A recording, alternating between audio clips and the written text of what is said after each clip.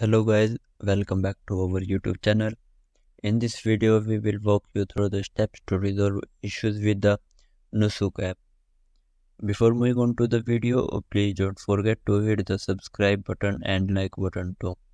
Without wasting the time, the first method to solve this problem is a force close and restart the Nusuk app.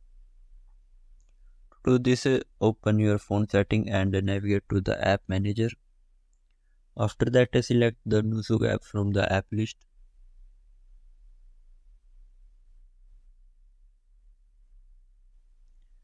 Uh, then find the option to force a stop in the bottom right corner of your phone.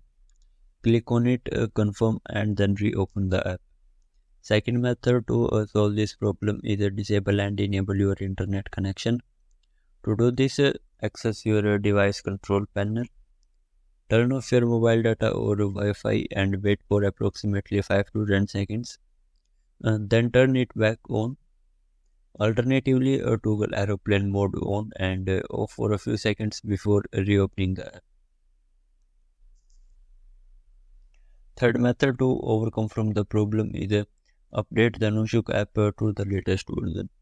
To update the Nusuk app, uh, open the Google Play Store app and search for the Nusuk app.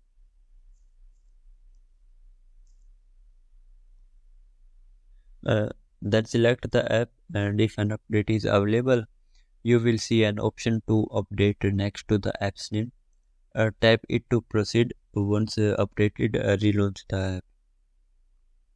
Fourth method to overcome from the problem is a clear Nusuk app uh, caches to clear a Nusuk app caches open your phone setting and navigate again to the app manager. After that uh, select the Nusuk app from the app list again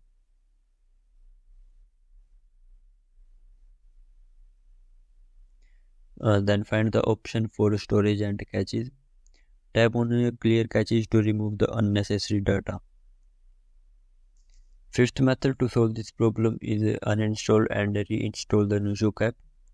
To do this, uh, open the Google Play Store app and search for the Nusuk app. Select the app and then uninstall it.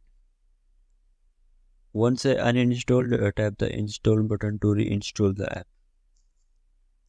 If none of the above methods work, it could be due to a busy server.